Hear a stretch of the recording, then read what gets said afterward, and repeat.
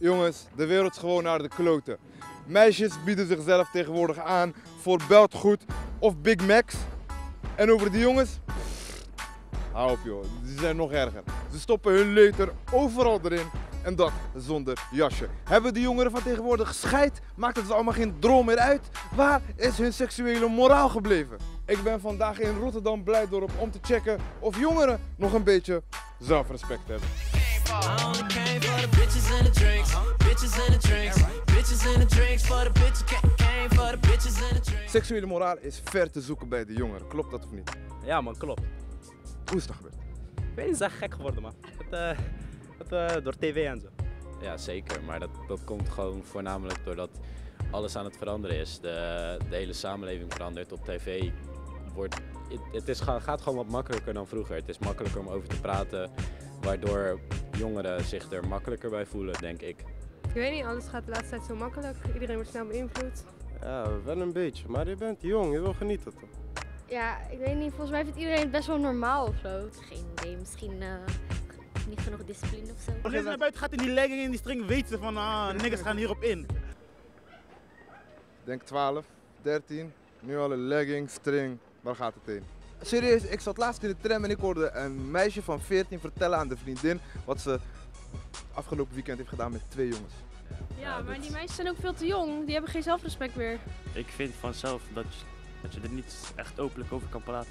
Jawel, mij zijn gewoon zo tegenwoordig, man. Laten we gewoon eerlijk zijn. Nou ja, gewoon jezelf blijven. En ik snap niet waarom je sowieso zou moeten bewijzen voor andere mensen. Nou, alles speelt een factor toch? Met wie je omgaat, geld, gewoon alles. Kijk, ik ben niet zo'n pussy, ik doe ook gewoon alles.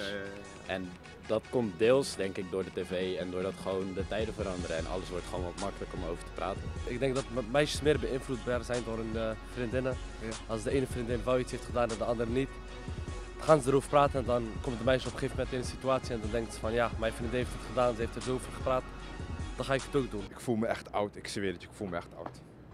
Wat is, wat is het laagste van het laagste wat je hebt gehoord? Gewoon dat je bij jezelf dacht van, hé, hey, sa, ken die man. Ik weet niet, is een meisje of zo, ze was zwanger, 14 jaar of zo. Ja, maar die is... eh, Door wat? Huh? Big Mac, wat belt goed. Zo'n meisje zit tegen mij op WhatsApp zo van, eh, ja, wanneer gaan we chillen, wanneer ga je voor mij eten halen, dit, dan gaan we bij mijn huis chillen, dit, dit, dit, dit. Dus je kon haar gewoon klaar voor eten. Ja, ja. Dat was een meisje met een hoofddoek.